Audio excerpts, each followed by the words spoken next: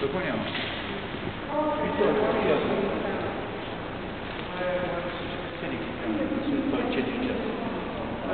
Największy chram Sofii znajdujący się na głównej ulicy. Jest naprawdę przepiękny.